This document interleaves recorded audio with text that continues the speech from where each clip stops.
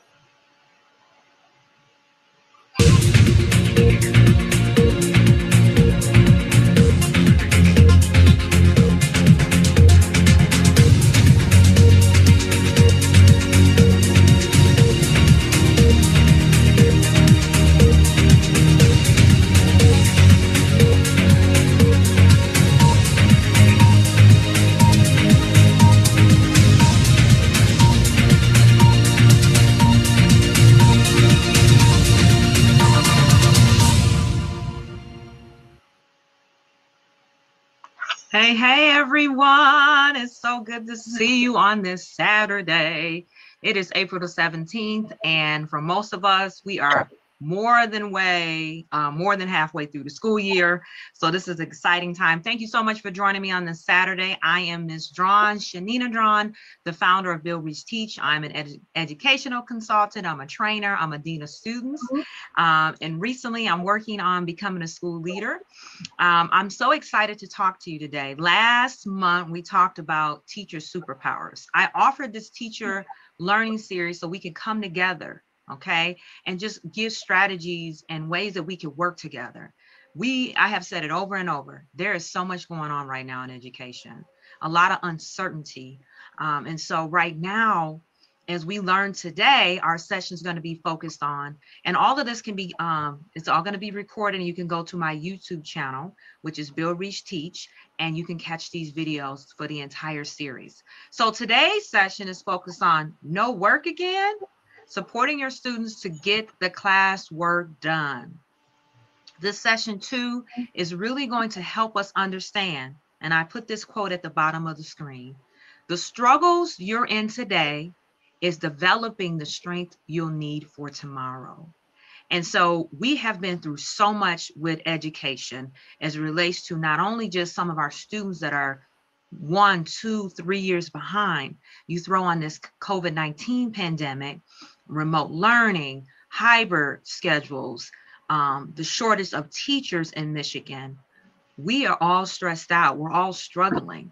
And so I'm excited to be able to share with you some strategies, some things that we can do. Because here's the thing I want you all to know there's hope in all of this. Um, I talked a lot about our teacher superpowers last month and there's things within you no matter what the circumstances are you can bring out of that student. So i don't want you to feel hopeless. I don't want you to feel like they're missing work they're not going to pass. There's things that we can do. And i'm so excited to share that with you. We're going to get right into it and we're going to open up with a video. As you look at this video i want you to think about you know what does that mean for you? Um, how can you you know relate to it as a teacher as a parent as an educator I want you to do some reflection as we go into this video.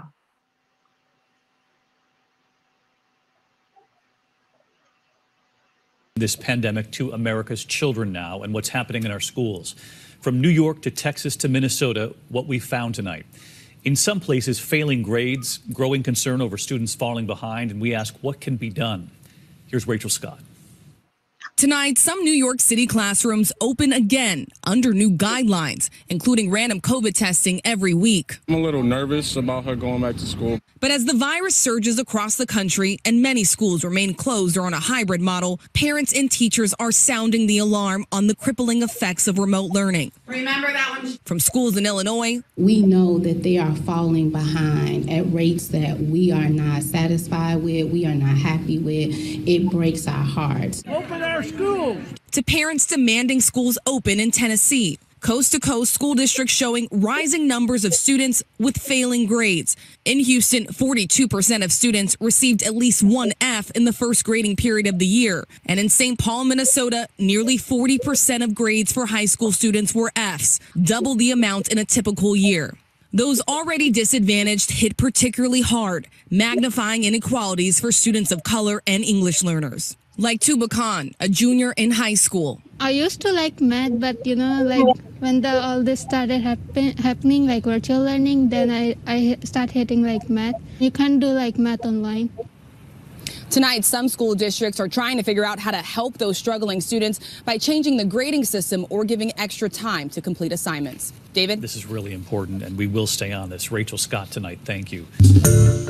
Hi, everyone. So everyone, we just finished that video and I just want your initial thoughts. I mean, so as I'm reorganizing my slides here, just start to think out loud um, what that video means to you. Give me your thoughts on what you thought of the video clip. I know for me, it brings up a lot of anxiety and a lot of um, just, wow, what can we do to help our young people? Those numbers, those failing rates um, as it relates to students failing grades, it's overwhelming. And we know students do not learn um, well remotely or virtually. They need to have in person. And so the, that tells, you know, that speaks volumes to see that students are giving up. They just feel just overwhelmed. And, and so as we think about that, I want you to keep that video in the back of your mind because there's so many things that we need to think about as we move on with this presentation. So a little bit about my life. I am a mother and a wife. Uh, my husband name is Maurice and my daughter name is Marlena. She's a middle schooler. I have been in education for 15 years. I'm a dean of students and I work as a trainer and education consultant. Um, my business is called Build Reach Teach, and I started it to really support teachers um, in the classroom and come up with, you know, different strategies and techniques they can use to help move. First of all, always say teachers need to take care of themselves first in order to help their students. Um, and the people that have influenced me the most would be my mother and my faith in God. So um, you can also put in the chat. This is an interactive conversation. You can put in the YouTube chat as well as the Facebook chat. Any comments or feedback. We're in this together. We're learning together. We're growing together. And so let me learn something about you. I'll be excited to just read some of the comments as we go through our presentation today.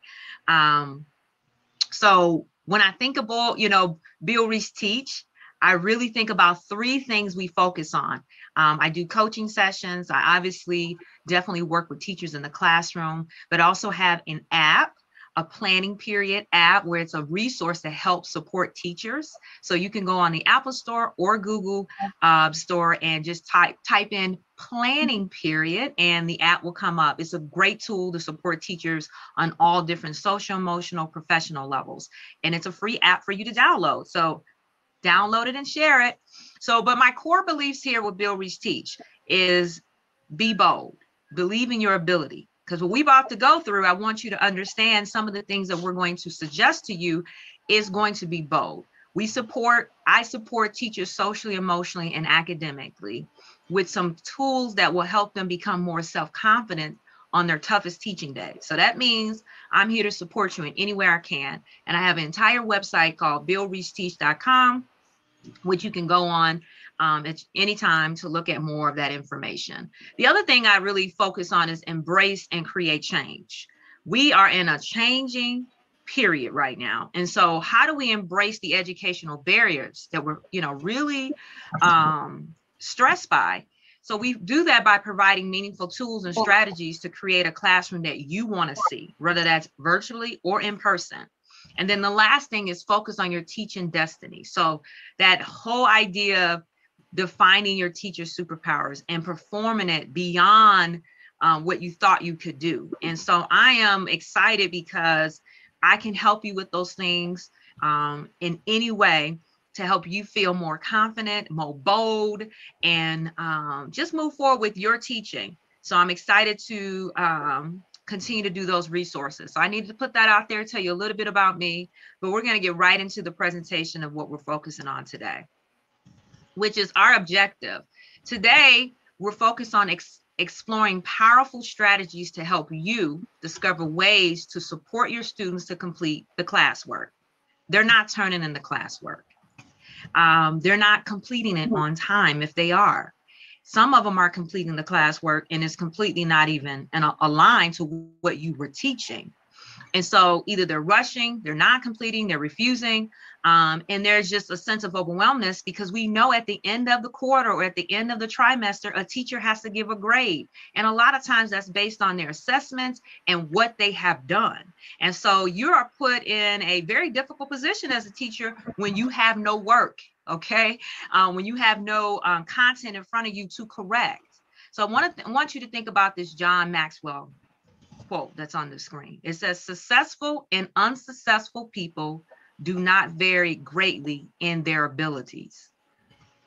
They vary in their desire to reach their potential. So regardless the people that you look around in the world, whether they're successful or unsuccessful, it's not based on their ability. It comes from the gut, the desire to reach their uh, potential. Okay. So when you have a student that is struggling, that is consistently not turning in classroom work, there's a desire there. It's not whether or not they can do it. And sometimes as teachers, educators, we focus on, oh, they can't do it or they can't learn it. And so when we have to think about, we have to shift our mindset and say, it's not about the ability, it's about the desire, whether or not they want to do it because sometimes people cannot reach their full potential is because they can't see the potential in front of them. They don't understand how to get to the roadmap. And so we're going to talk through that. So think about that students, or maybe you have more than one student or students, um, and you know that they're struggling. I want you to write their names down and think about the potential that they could have, but they're just not meeting it. So the first thing we're going to do is we're going to start with shifting our mindset. I kind of already opened up with that. So you see this um, graph here. It says mindset in the be in the middle, and then it says behavior, our actions, results, performance, attitude. Well, first it starts with our attitude. Our attitude and how we see that student, how that student sees themselves will shape their behavior. And as a result of that, will obviously act out. They have an action on how they're going to follow up or not follow up on that. And then there's a result of them performing or not performing. So it's this one big cycle. So for a student, for example, if their attitude is, I can't do it, they're not going to do the work. Their behaviors, they're, they're just going to act like they don't care. As a, their action, they're not going to do it. And as a result, they're going to fail um, and get zeros. And so we have to shift the mindset. How do we do that? I love this success. It says, see your goal. We have to teach ourselves first as a teacher, as an educator, then we have to share this model. By shifting their mindset, you shift the world of the potential. Remember, I told you people want to do well, they have the ability, but sometimes they don't see what's in front of them because their mind is cluttered with negativity, um, a lot of self-negative talk, self-negativity talk, excuse me, that they feel like they can't do it. So one, we're going to see the goal. You got to teach your students to see a goal, a small goal. So if they're working on multiplication, you're going to give them small goals each week. You're going to chunk them and say, listen, by Friday, I want you to know your multiplication factors one through five or one through three and i'm going to you know i'm going to sit there and support you by giving you the, the tools you need and then we can have a one-on-one to practice that. You're going to help them understand their obstacle. You're going to say i know that you feel behind. I know you feel overwhelmed right now but i'm here. Even though you may have this obstacle here i know your potential. So you as a teacher have to see the student potential first before the student can see it. All right?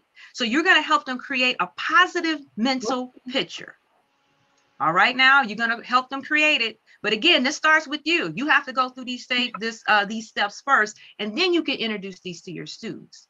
So we're gonna create a positive mental picture. We're gonna clear your mind of self-doubt, okay?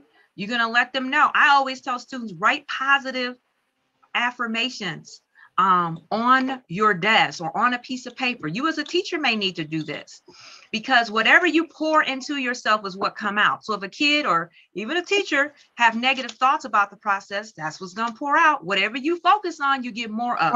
So you may have these little notes and you may see it on my screen. I have a bunch that says, follow your yes. The bet the best is yet to come. Just breathe, life goes on. So these are inspiration note cards. Feed your mind with the things that you want that will help you set up a positive mindset. We're going to embrace that challenge. That's the E. Challenges are um, introduced in our lives to make us stronger, to stretch us. If we didn't have challenges, we wouldn't know how to solve problems. Okay, so we have to have that challenge. We're going to stay on track. We're going to track ourselves. We're going to, you know, have follow up and feedback. And then we're going to show the world what we can do. We're going to show the world what your student or what you can do. So we have to start shifting our mindset in order for us to understand why students are not turning in the work. So let's go deeper in that why. Okay, we're going to do that right now because I think it's important for us to really step back for a moment and think about, well, why not? Why aren't they doing the work? I want to read this quote. I'm a quote lady. I love quotes. I love inspirational thoughts because I think at the end of the day, that's what health feeds us. It says, failure doesn't mean the game is over. It means try again with experience. So that mindset, when we fail something, when we get an F or a D, for many students, they completely check out they don't see the meaning of trying again because it's like, I already failed it. What's the point? But as a teacher, you can flip it and say, listen, the game is not over. It just means that you have to try it again with that same experience. It's okay to be that you're making these mistakes. See it as a mistake and learn from it. And see, when we change the meaning of failure in the classroom, then students are more likely to try again. So let's talk about when we're working with students that are unmotivated, they say, I can, but I won't. I can, but I won't. you guys got those students? So there's two things to think about. The first is we have to change, and it says his thinking or her thinking, so that he um, becomes that he can believe that he can do it to put the effort forward. So he he has to believe, or she has to believe, they can be successful in those academic tasks. So a lot of times it starts with their mindset. They don't think they can do it. So what's the point? That's the first challenge. The second challenge is to figure out what motivates him or her to identify that setting, that situation or condition that they will respond to, and it will be there to help, you know, foster their interests or his or her interests. Okay. So one, they got to believe in themselves. Two, we got to figure out what motivates them. Okay. You guys are with me? Um, because I can, but I won't if something goes back to not the ability, it goes back to the potential and them desiring whether or not they feel like they can do it. So let's talk about this why. Um, why is the classwork late? Why is it not turned in? Why is the past due? And I love this. It says the the cartoon down here says I couldn't do my homework because my computer has a virus, and so do all my pens and uh, my pencils and uh, pencils and pens. So the student sitting there, it's always an excuse with a student. If you all know these students, you know your students is always an excuse, an excuse, an excuse. And there's a reason for those excuses. I want to tell you right now, kids, students, kindergarten through 12th grade students, they have a desire to want to do well. They just don't wake up and say, I'm gonna be a failure today and I'm not gonna turn in my work there is some there's some deeply rooted reasons. And in order for us to understand we're going to have to chase that why for a little bit in order for us to set up a plan and go ahead and push through some strategies to help that particular student. So let's talk about the why. I wanted to read this poem okay? Because the first thing we need to do is change our perspective. We're going back to mindset if you think the, the child don't care they're never going to do it, then you know the students can feed off a of teacher energy, whether on whether they're on screen or in the classroom. Kids are very resilient and they're very, um, they can pick up on anything when they feel like a teacher is not connecting. That energy is what I'm trying to say. Kids know teachers' energy. And so if you feel like they don't care, let's see their perspective in a meaningful way. We want to understand the why. So there's this poem, because I ain't got a pencil. Okay. Um, and it says, I woke myself up because I ain't got a because I ain't got an alarm a alarm clock. Drug dug in my dirty clothes basket because I ain't because ain't nobody watched my uniform. Brush my hair and teeth in the dark because the lights ain't on. Even got my baby sister ready because my mama wasn't home. Got us both to school on time to eat us a good breakfast. Then when I got to class, the teacher fussed because I ain't got a pencil. That's Joshua Joshua Dixon um, Dickerson wrote that. And it's a very powerful piece because many of our students that have something going on, they're not doing the work just because they don't always feel like they don't want to do it. I mean, there is a situation where they're being lazy or, but for the majority of students, failure, it, it, it feels really deeply cut. No one wants to be a failure. Let's just make that clear.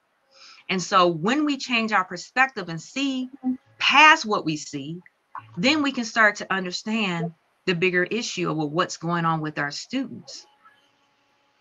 So let's chase these whys for a second. I'm gonna move this out the way so you can see it a little bit. And it says to me, there's some reasons why, and we're gonna go over about seven reasons that I really think, and I know some of these reasons you know, because if you understand the why, perhaps it'll give us a sense of empathy, understanding. Then we can adjust and change and shift our mindset to focus on the things we want in our classroom and try to build assignments and assessments about the need and meet the need of the student. So the first thing is right out the door, social emotional stress of experiencing a world pandemic crisis, COVID-19, has shifted and turned education settings upside down. We all stressed out and overwhelmed with learning from home. I cannot learn this way. Many students are saying that. Many teachers are saying, I cannot teach this way. Maybe some people are very comfortable in it, but at the end of the day, you know, most people feel like remote learning is not the best way for kids and students to communicate as relates to learning in the classroom. That's number one. We're in a pandemic, and we as adults are stressful, you know, stressed out. Um, and we've tried to come up with coping skills to deal with our own stress. Can you imagine what these young people are going through? They're overwhelmed. There's a lot of uncertainty. You're in class, you're out of class, you're online, you're not online. Somebody in their family are dying, their communities are around them are dying. Well over 600,000 people in the United States have died. There's a lot of grieving and there's a lot of social emotional stress. And we have to make that a priority in our schools, particularly if we go back full time in the fall as it relates to in person. The mindset of these students are not okay. Our students are not okay. And I need you to understand that. They're not okay. So, with that said, there's a lack of support. That's number two. Many of students will say, I have no support. No one is there to support me to do the homework because we have parents in the home that's trying to work, trying to make a living, food on the table. These are basic need human beings issues that we're dealing with. So it's not that they don't want to turn in the work. There's a lot of factors that's stopping them from turning in the work.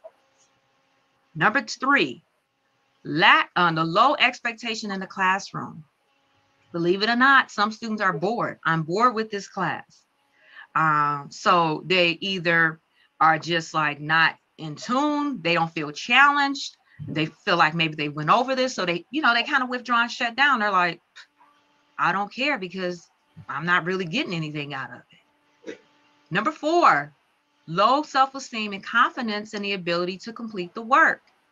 Here's the reality we know certain students are two, three years behind. And with the students almost being out of school for a year and a half full time, because I know some have done remote and some have done in person, they're telling them, I can't do this work. I need more support. I need more support. Okay. Number four, well, five, I should say, pressures to be successful and achieve. We have students that are achieving, but they're so stressed out. Maybe they were um, an AB student last year, but we see a lot of students that are really, really struggling and they're not even making the grade. They're not even making the grades and they're saying, um, I'm so stressed out, I just hate school. We have, if you look at the data around the country, there's millions of students that are missing attendance wise. Okay, number one. Number two, students that did pretty well last year are not doing well this year. So then we have the double of the D's and F's. Okay, students are behind in learning. That's another reason I don't understand the material, I cannot complete it.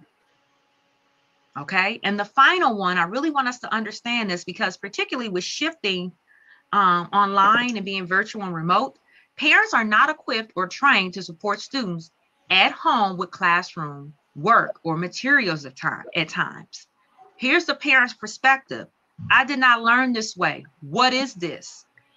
There's many parents that are there trying to support their students, but some of the content, some of the standards, the Common Core standards and how they learn math is not the same. So yeah, you as a teacher may teach it, but then you know that has to be reinforced. And so the parents are doing the best they can at home to try to reinforce stuff that they didn't even learn this way. And so, because we have not trained or equipped the parents to really engage in classroom, almost like classroom management, because they're managing their kids at home, they're mm. overwhelmed and they're shutting down. So now we understand the why. I don't want you to walk away thinking kids and parents don't care. They do.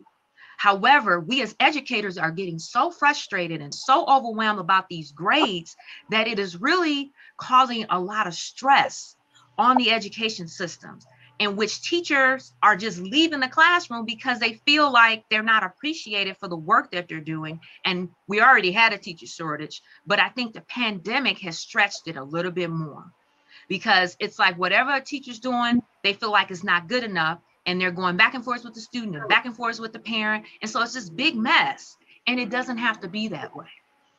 So here's some other reasons why, and I hope you can see this graph, but really it says students don't understand the work, your assignments seem too hard or require too much work, the work is boring, some of the stuff we went through, um, your student doesn't see the point of the work, like how is this gonna relate to me? We're gonna talk about that.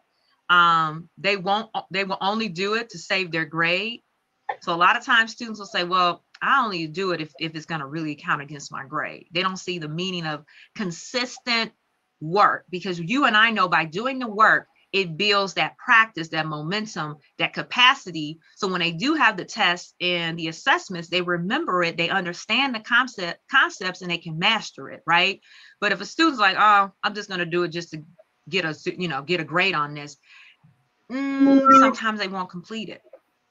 Um, and uh, one of the other reasons a student doesn't like you and won't do it anything for you. And I always say that I know that's kind of harsh. Why would a student not like a teacher? Well, it's the same reason why teachers don't like students. Uh, we want to talk about it. Um, kids don't care, you know, kids, students do not care how much you know as an educator until they know how much you care. Students start with the heart, okay?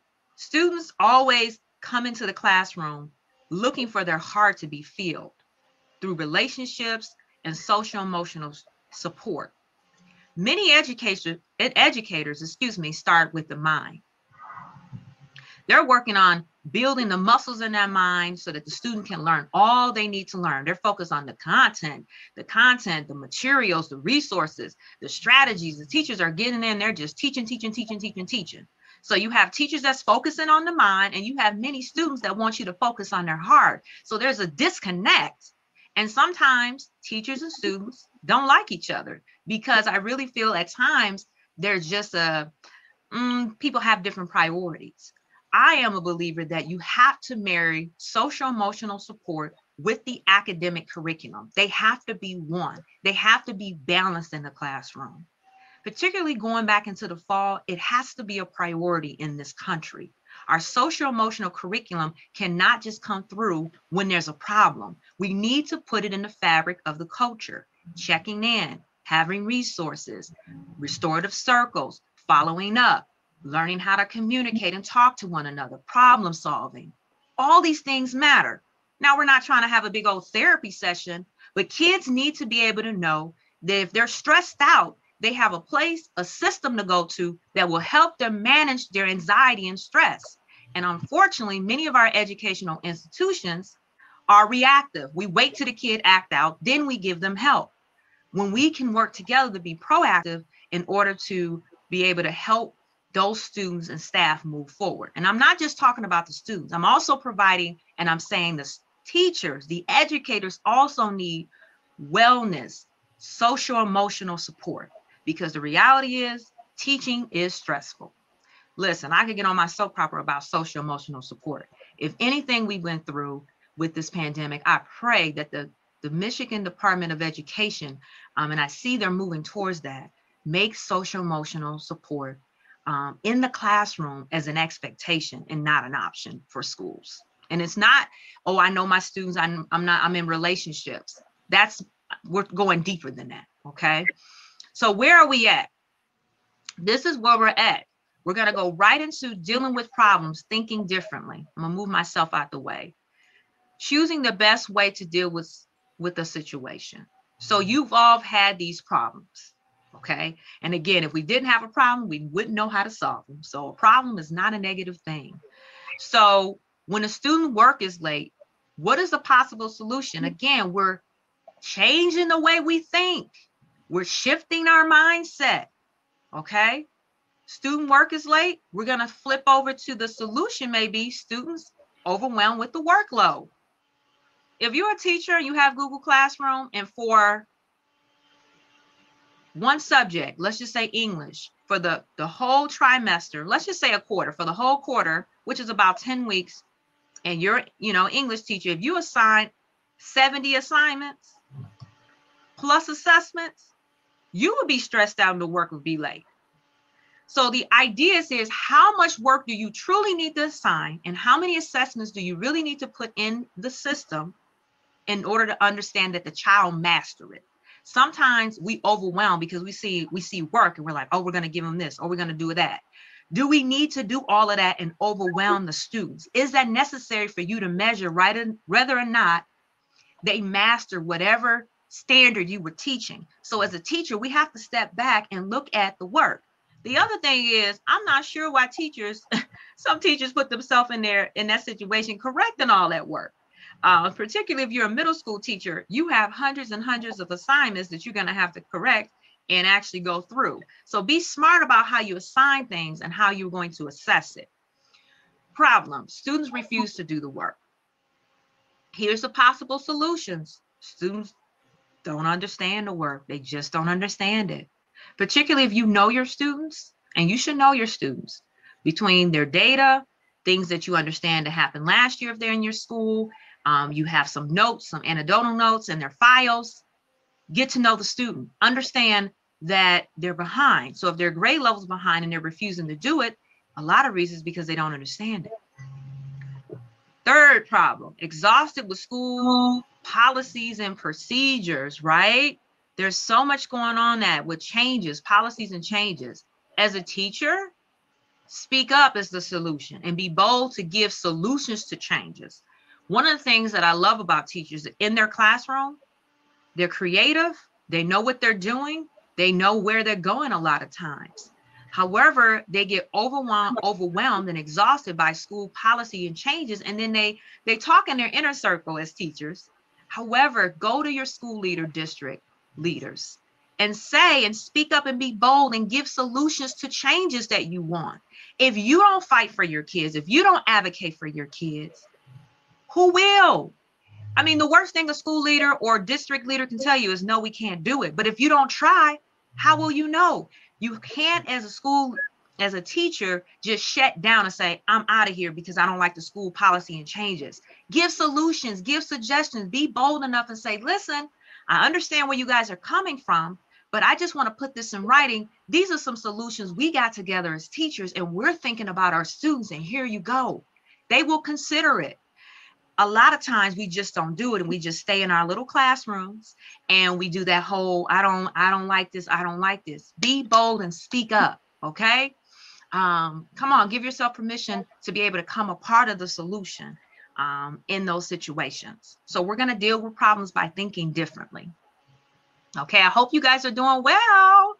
Uh, we've given a lot of information, but I'm going to shift because we talked about the why and we really focused on like what are the reasons behind that. And I think many of you all may have known those reasons. And I'm not just saying the kids are stressed out. I know you're stressed out as well because a lot of these things that we're talking about, you only can do so much about it. You only can do so much about the home factor. You only can do so much about the resources. You only can do so much about them not coming in their attendance. I know you're limited as a teacher sometimes. However, we're going to focus on how do we shift these reasons, okay? Um, and there's a great model. And at the end of this presentation, there's a, a bunch of uh, reference points, resource points that you can go on and go on the internet and um, just read through a couple articles that I got some of the resource reference points for. But we're going to talk about expectancy value cost model. Um, this model is really focused on the framework of how do we get students students actively engaged in their learning. So there's this theory about the expectancy value. It suggests that if a student's hmm. value active learning, believe they can successfully participate in active learning and perceive, okay, perceive a low cost to doing active learning, they will make the choice to deeply engage in active learning activities. So you said, Miss Shanita, what does all this mean? Students are more likely to get involved in their education and be motivated to do the work if they feel like they can be successful and it's not going to cause a lot of social, emotional pain, embarrassment, overwhelmness. We have to understand students are still in their development stages, and some of the emotions that come with failure is overwhelming from them. So either they shut down or withdraw. So, in this model, we have to help the student understand the value of learning. Okay. Now you're saying, well, they should know the value of learning. They know if they learn, get good grades, do the best they can, be productive, they'll graduate, go to college, and get a good job and live their best life. Yeah, I mean, that's kind of the overall, but when you're in it and doing it, and if you think back on your education experience, your teachers, your parents, your community leaders, the people that were around you had to consistently remind you the about the value in learning. It was the people around you that helped motivate and close the gap sometimes. Um, and so we're going to talk about this briefly because I think it's important for us to understand there's value in understanding the learning process. So educators must answer the question, when are we going to use ever use this stuff? That means all the content and materials that you're teaching in your classroom. The students are asking, when are we ever going to use this stuff? What is the point of it? And so some of the reasons I have on the screen, we have to be clear about our learning objectives. I cannot say that enough. Tell the objective and the purpose of the lesson. Sometimes we get so excited, we just move right into the lesson, or we assume they know. They don't. Um, and you may say to them as well, this may not make sense now, but let them know everything will make sense eventually as they build. Because a lot of times you're introducing concepts in the classroom, there's for exposure for them to build on. So if you don't, you might touch a little bit of uh, money, understanding money and how it works in second grade. But by third grade, they're actually going to have to be able to count money, right? And be able to subtract and add. So it's one of those things, tell the students that everything you teach may not always make sense, but it does build on each other, okay? Number three, connect learning to life goals. You have been in professional developments as a staff person, and you have said to yourself, why are we in this professional development? Why do I need to know this stuff? This is a waste of my time. And I'm not the only one have thought that. You all have thought that, like, why I'm in this professional development, why I'm in this staff meeting right now. Because a lot of times it's not connecting um, your learning goals together. You, if you're a teacher um, in say you're a gym teacher and they put you in an ELA class to learn something, you know, professional development. It's not helping you. It's not connecting to your life goal as a gym teacher. So you're like, why am I in this meeting? I need to go. Um, so that was just a quick example. But the point is, students want to know how is this going to relate to their life. The, the issue is this: the best solution is to the problem is to make every lesson relevant to the student. Okay, so make those connections in the lesson because once I can relate to it as a student, I can apply it as a student. All right. So we're going to have to answer this question. So we're going to move a little deeper with this expectancy um, value model. And in here, I'm not going to read through the slide. These all this will be put on my website as well as the YouTube page. But an expectancy refers to a student expectation that they can succeed in that assigned task. So when we think about that, it's like I'm coming up. Can I do this? Okay. They want to feel empowered that they actually can do it. The value comes to involving the student ability to perceive the importance of engaging in that particular task. Okay. So they want to be clear on why they're doing this and, you know, is this something that I can complete? And that's going to be attached to their behavior, whether or not they can do it. Okay. Um, the cost, this is an important thing, points to the barriers that may impede, impede on a student ability to be successful on completing that assignment or activity. So it really goes back to if I don't think I can be successful, then I don't know if I'm just going to be, I'm not, I, I don't think it's not going to be worth my time. The value, the cost of it is what's the point? I'm just not going to do it. Um, so let's look at this a little deeper. I love this model. You see the kid at the bottom? That's a lot of our students. Let's just make that clear. And that's a mountain many of them have to climb all the way to the top. Okay. So if they're really low and they're struggling and they don't understand certain materials that you're teaching, I don't know if you ever had to climb a mountain or went hiking, it will take your breath away, especially if you're not in shape. Okay. If your muscles and mind is not in shape, a lot of time is mental saying, Can I climb this mountain? Can I do this hike and go all the way to the top? It's a mental capacity, believing that you have the ability to do it. It's no different with students mm-hmm. not being able to complete and do the work. Okay. So the idea is the goal is I value. A goal I value is that I want to do well. Okay. That's at the top. And a belief is, can I make it? That's that's the idea they're thinking in their head.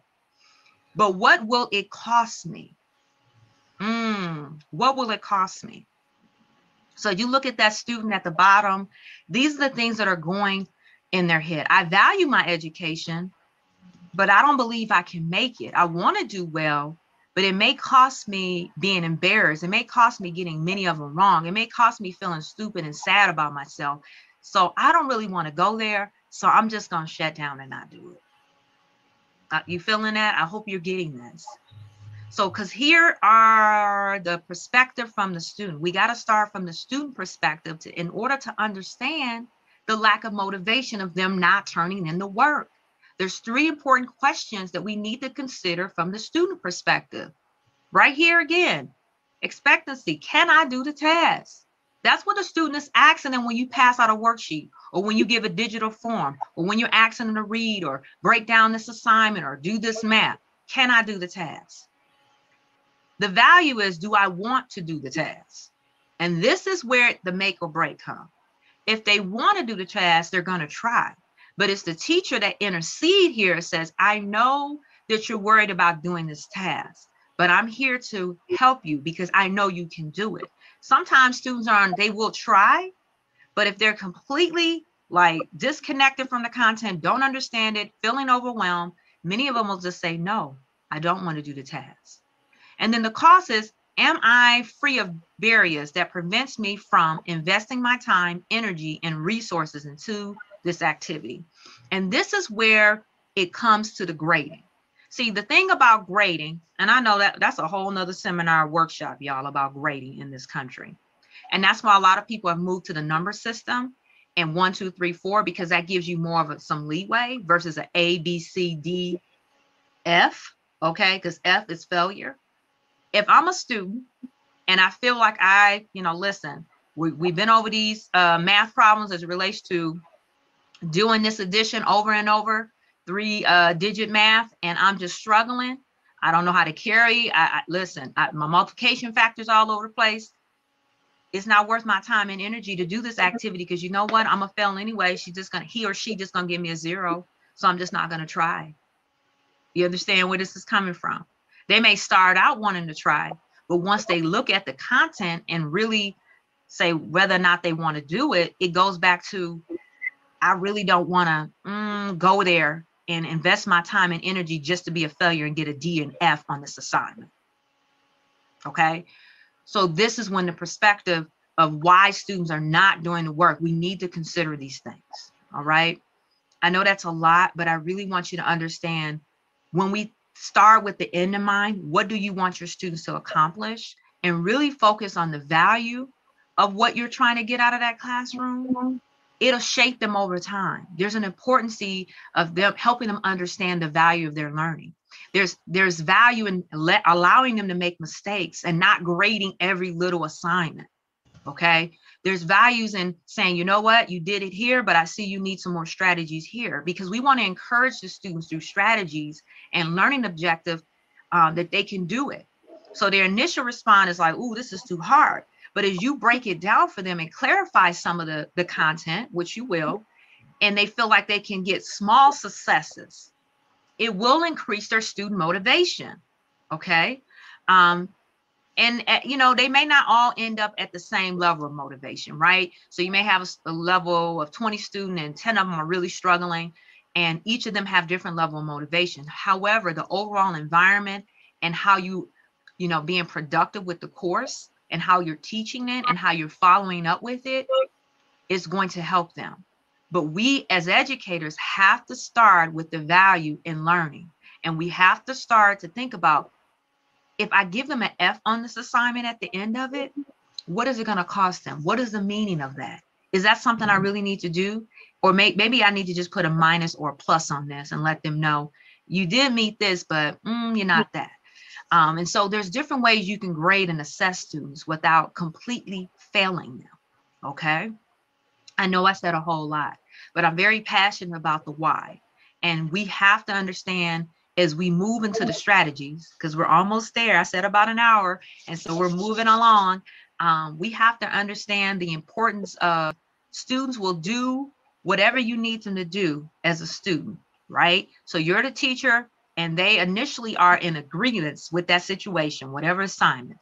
But as soon as they see the assignment and they feel like they cannot do the task, they're going to shut down. At that point, you have to intervene with some strategies when you start to see those first three assignments not completed, like, listen, what's going on with you? I noticed you haven't done the last two, three assignments.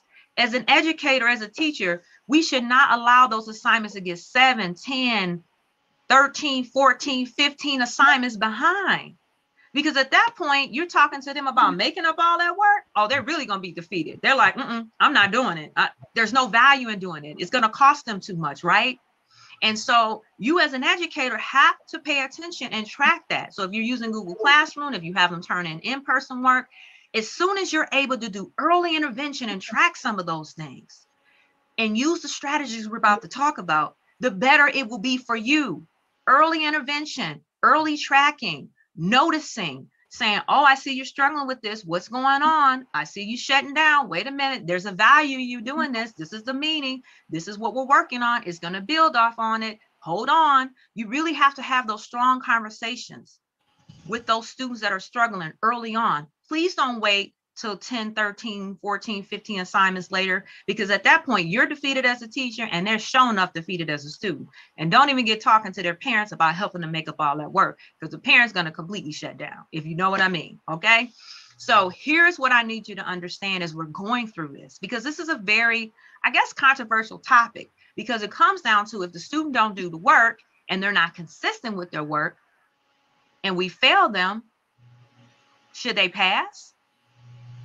And I've had students that honestly don't do any work, but if you give them assessment, they pass.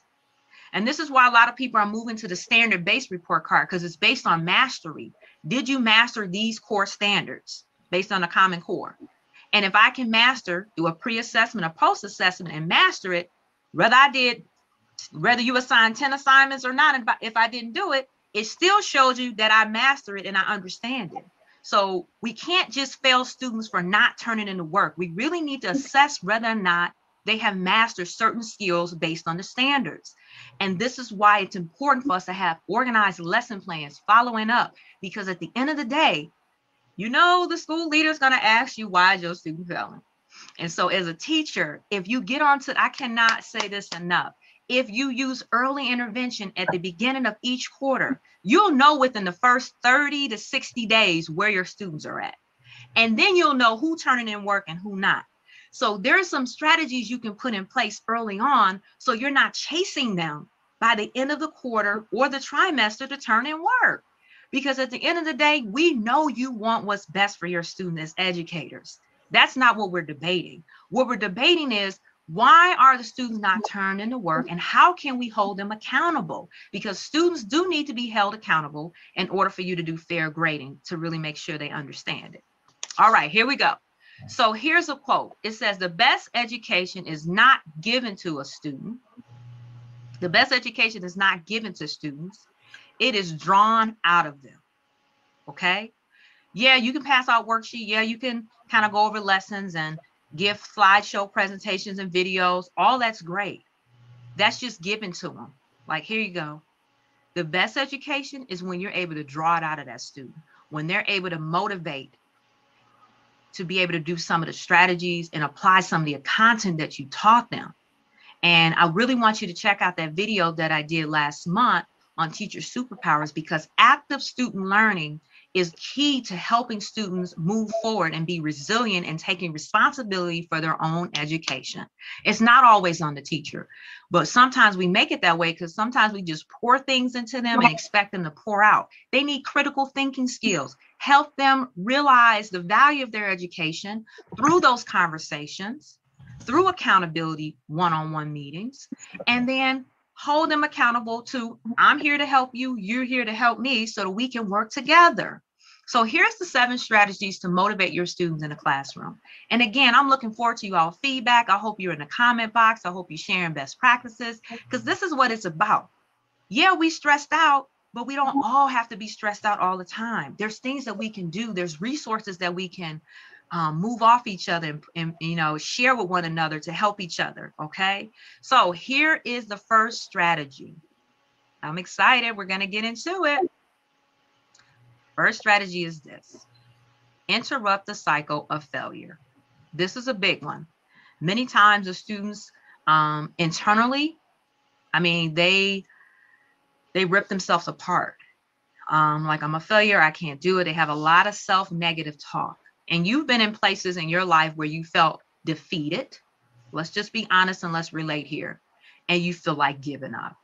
And if we have other factors, like if the kids don't have support, um, they don't have parents that understand some of the things at home, they're already behind, they're just going to shut down. So, what I'm suggesting here is that you put in structures um, early on with the assignments that are easy, you know, structures that are put in place to have them feel confident with with some of the assignments. So what does that look like? If he or she is struggling with the assignment, focus on what they're doing well. Gently correct his mistake or her mistake without criticizing. So it's all about the language here. So if little Johnny had 10 problems for the math assignment and he got nine of them wrong, put a plus one on the top of his sheet. Don't put a negative nine. Now you saying, Miss Shanino, does it really matter? It does, because he got one right. Celebrate those small things and say, listen, you got one right. So that means you got something, you understand something here. But these other nine we're gonna have to focus on. And we're gonna do what we can to help you. Come on, put a plus one on there. Celebrate what is right. It's so easy to say negative nine, you're wrong, moving on. That kills a kid's self-esteem and it breaks them down even more. Okay because they know how important that is. So they're going to have setbacks and mistakes and let them know the setbacks you're having with these nine wrong, it's a part of the learning process. I encourage you to make mistakes in my classroom is what you have to really follow up with because if you be- begin and help them enjoy more success, even at plus one, that builds their confidence. It's just, it's, it's starting with the positive and not always starting with the negative. We have to change our mindset, interrupt the cycle of failure, okay? And help them understand that I'm giving you a sense of control. I'm giving you some choices so we can actively participate. Be clear about your learning objectives and make sure you create an environment that's threat, you know, uh, threat and free. Okay, create a threat a threat and free environment. That means a safe environment where they feel like they can learn and is supportive. They can come to you, and it's like you at your job. If you feel comfortable with your boss and your coworkers, you're more likely to open up and talk to them and get what you need out and feel confident and more comfortable with your job. So we have to make sure we have those environments put in, put in place. Okay. So let's interrupt the cycle of failure. Give a choice of assignments. That's that sense of control. Um, and I know this is a tricky one for teachers. They like give a choice. Listen, you have a million assignments you could give. I mean, there's so much stuff out there with teacher pay teachers. I mean, there's so many teacher tools now. Give as long as they're meeting the objective of what you want them to master, allow them to choose out of the three assignments. Maybe you give three assignments a week and they choose the one that they feel more confident in. Okay, give some choices. You like choices as well. You know, if you're at a a staff professional development and they only have one food option, you're like, I don't even eat that. But if they have three, you got choices, okay? And it makes you feel good when you have choices because you feel like you have a sense of control and you feel like, you know what, I'm motivated to do this. It's the same with our students. We got to give them choices of assignments. And really, if the content is pretty much the same and is they only have to pick one of the worksheets, you're still going to get the information you need whether or not they can master whatever you're teaching them, okay? So that may be a book report, it may be an oral report, it may be an art project. Um, you know that you have to learn their learning process and then give them an option to do so. So if a student is struggling with writing but they can orally you know verbally express themselves well have them do a, a, a Flipgrid okay? Same same thing. Now they might have to go back and work work on the worksheet but they may feel more comfortable doing the oral presentation okay? So we have to look out for that and give um, some wonderful feedback on given choices. Incorporate the students' interest into learning lessons. So you need to know your students. You got to change your scenery. If you're always just lecturing and pulling out the slides and not taking in consideration what the students' interests are, what are the students like? How can you incorporate incorporate, excuse me, some positive competition, offer rewards and and offer variety of experiences in your lessons. So you ask the students early on in the school year their interests, what they like to do, what they listen to. Um, and then you're able to take maybe some of the things that they do and incorporate in the lesson.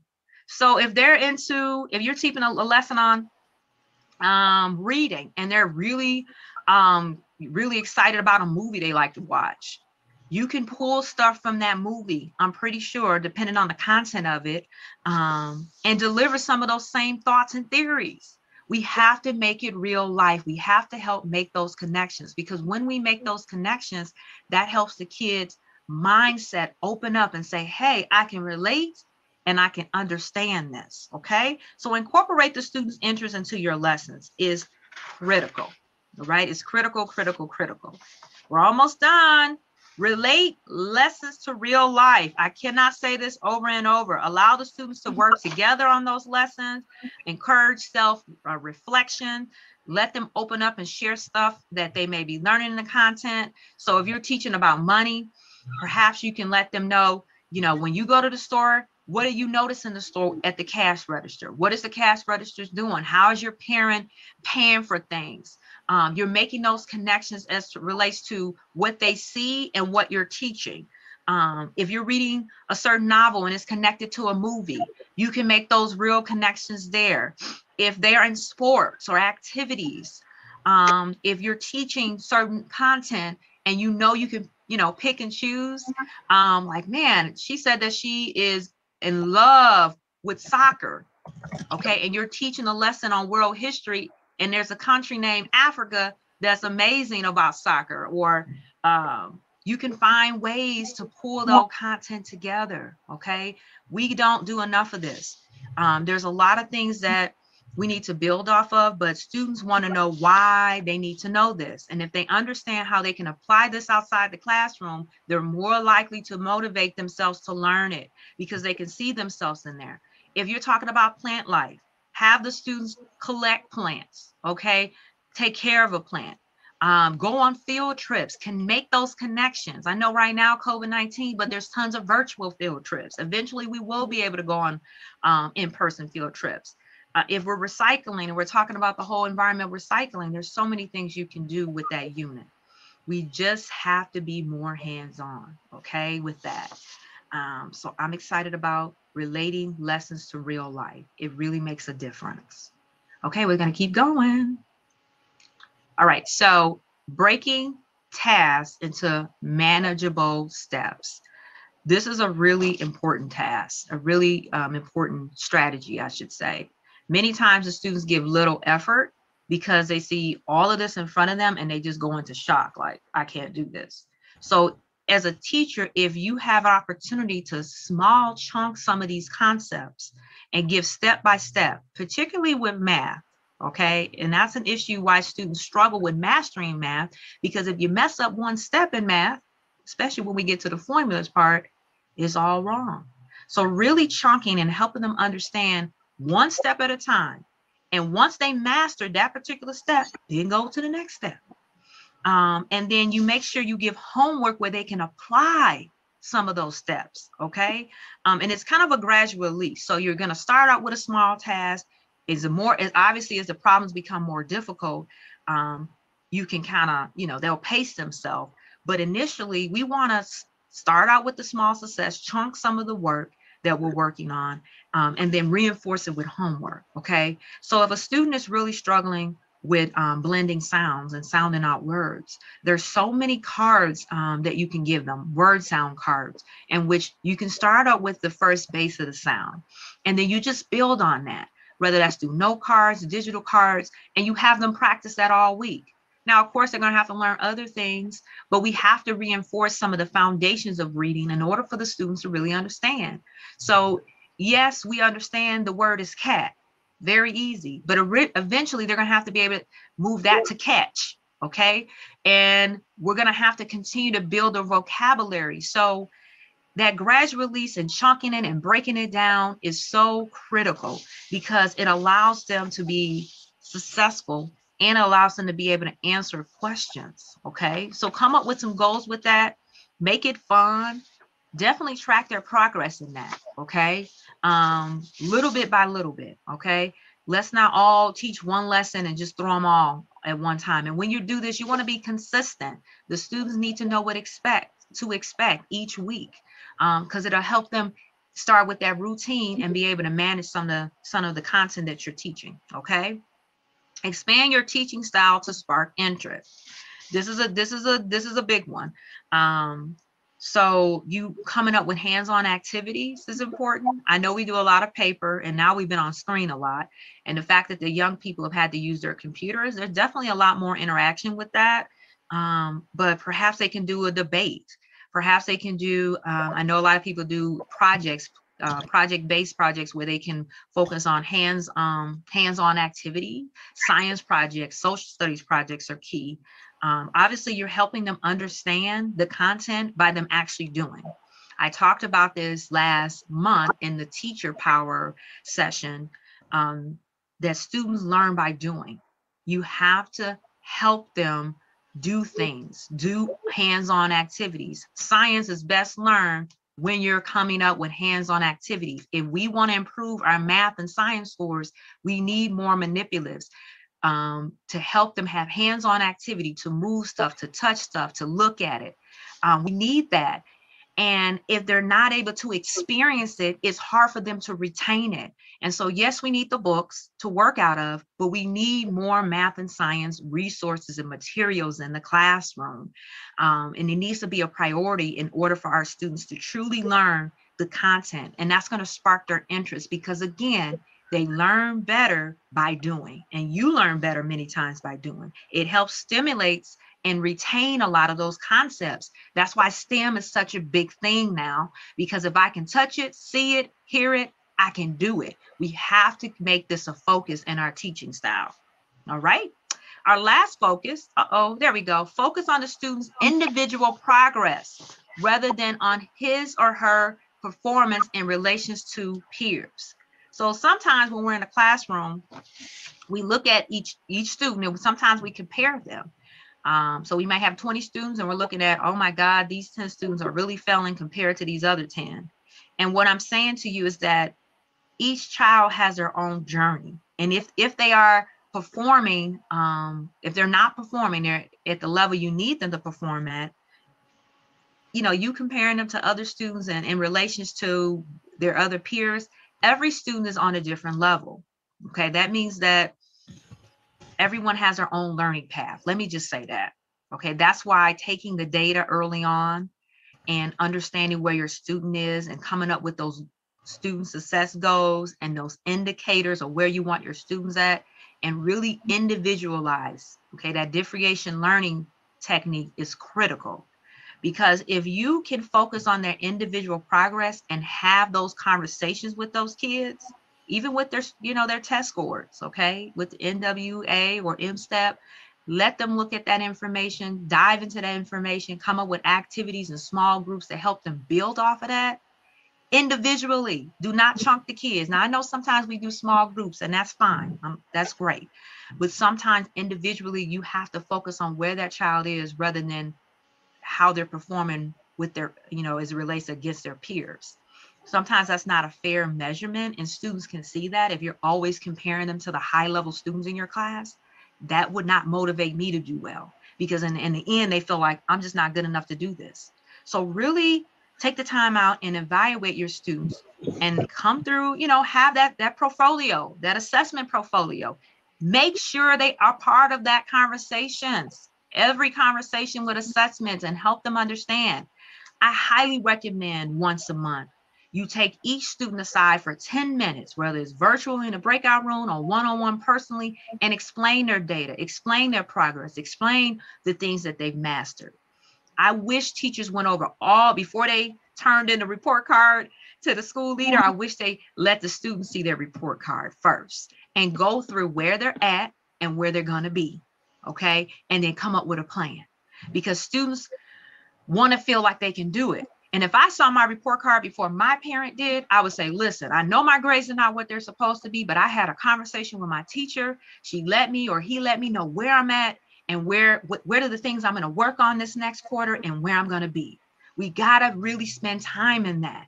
So again, early intervention, one-on-one meetings. It doesn't take all day. And I know if you are a middle school teacher or high school teacher, this may be overwhelmed, overwhelming. So you may not do this once a month. You may just do it quarterly in small groups or something with your students. You may have to come up with a schedule, or you may have to do a Google Doc or something. But you have to find a way to communicate to your students that you matter in my classroom. And I want to not only help you, but support you through your academic success.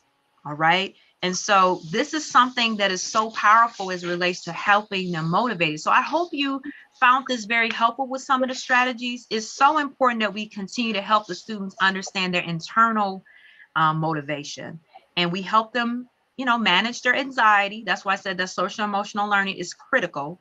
And we help them make goals and hold them accountable to obtain those goals. And we give learning feedback and offer opportunities for improvement.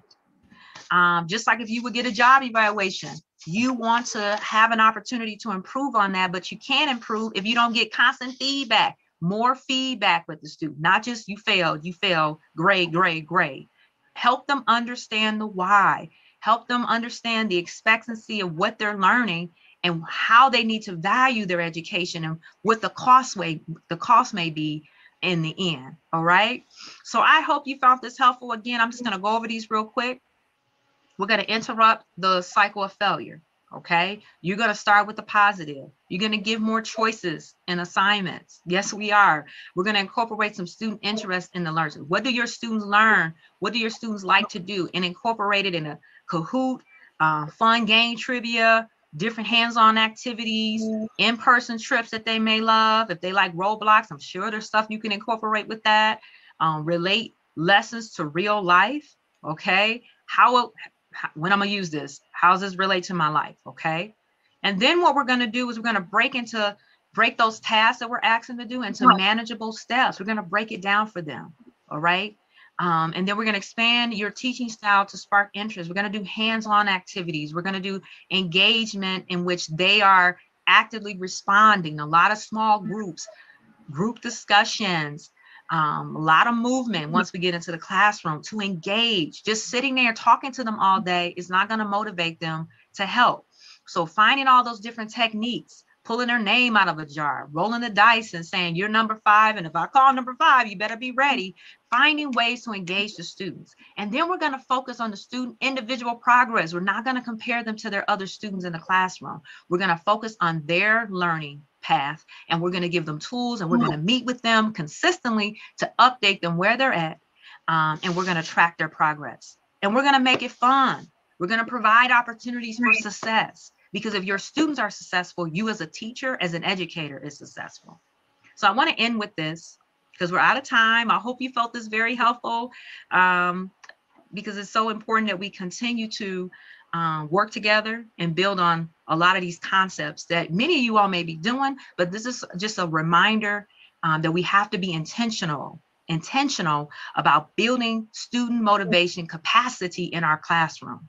Yes, we understand there's a lot of whys. And yes, there's a lot of pointing fingers. And I'm not going to say people are not blaming teachers. And I hate that they blame teachers when their kids are not successful because a lot of times it's not the teacher's fault. But I want to say this to you Success is the sum of small efforts. Success is the sum of small efforts, repeated day in and day out. I need you to understand the things that you're doing right now as an educator, it is going to work. It's the small efforts that you make every day. You repeat it in and out. Eventually, that will catch on. And you will see that the things that you're teaching and pouring into these students do matter and you're doing an excellent, outstanding job. So don't be too hard on yourself because here's the reality is if you are, if you as a teacher, if you're doing the best you can as a teacher, that's good enough. And you know what you're doing. It's easy for parents and even school leaders mm-hmm. sometimes, or other people in the classroom to say you're not doing enough. We need more. Uh, i get that. It, the, the job description of the teachers is going da, da, da, da, it's just widening. And there's no consistent uh, compensation as relates to raises or uh, valuable feedback and resources either while they're expanding sometimes. I know that happens. However if you're doing the best you you as a teacher can that's good enough. Don't overwhelm yourself and beat up on yourself as a teacher when a student is not, you know, meeting the performance level you want them to. They don't get the NWE score, NWEA score that you want them to. Um, they're not turning in their work consistently. They seem to be shutting down. It's not your fault. Okay. As long as you're doing the best you can and you're thinking about and applying some of these strategies and tightening up and being consistent in your structure, now you have to provide that consistency in your structure and definitely have a discipline system with classroom management in place, as well as understanding that content and doing your lesson plan. So if you're prepared and you're doing that part, then you're good enough. You're doing what you need to do. All right. I just have to say that. Believe in yourself in all that you are, knowing that there is something inside of you that is greater than any obstacle. Okay. So, as a teacher, it starts with you, it starts with your mindset. Believing yourself and what you're doing and the things that you're doing. Even if the world is telling you that you're not good enough as a teacher, you are good enough because what you tell yourself and what you put in that student in your students every day matters so much more than what anybody can tell you. And I really want to push that home, knowing that there is something inside of you that is greater and so I go back to my Build Reach Teach Core Values embrace the change, be bold, teach bold, respond bold. Because in a crisis, we know that when we're pushed and and you know stretched, we come out better. All right, we come out better. So thank you so much for joining. You can definitely go on my website, Build Reach Teach. I'm always here as a resource.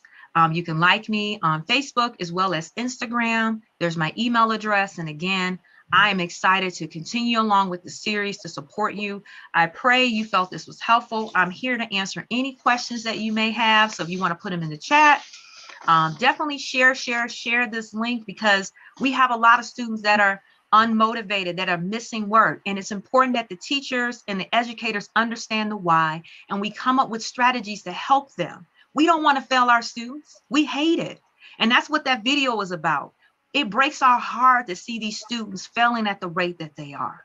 And I pray as an education system in America, we start to look at the grading system, some of the academic pressures in the middle of a crisis. Like they're still trying to test these kids with M-STEP. Listen, that's my so proper. I'm gonna leave it alone. But at the end of the day, I know people are like, they need the assessment, we need the data. I get that, but we're in the middle of a pandemic. And so we need to be able to adjust and be flexible and build on what we have. And we don't want to break the teachers down and break the students down and break the parents down. Because in the end, it's just going to be a terrible revolving door.